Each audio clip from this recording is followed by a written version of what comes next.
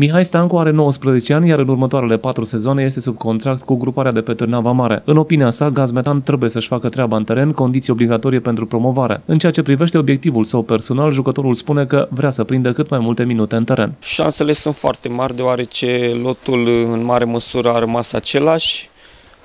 Cât despre bătălia la, la promovare, cred că este foarte strânsă. Uh, contra candidatele noastre cred că sunt Ucluj, FC Brașov și încă câteva echipe, dar noi sperăm să ne facem treaba cât mai bine și să promovăm. Care e obiectivul tău personal pentru acest sezon? Ce îți propui tu să... Da, obiectivul meu personal este să, să joc cât mai mult și să fac asta cât mai bine și să promovăm, să promovăm echipa. Cum e noua ta echipă? Cum sunt jucătorii? Cum te-au primit? Cum e atmosfera? Da, m-am integrat foarte bine la echipă. Sunt jucători cu caracter care m-au ajutat foarte mult în perioada asta de pregătire și sper să facem treabă foarte bună la începutul campionatului. Joi după amiaza, Gazmetan va disputa ultima partidă de verificare înaintea startului de campionat în Liga a doua la Sovata cu Ceahlăul Piatra Neamț.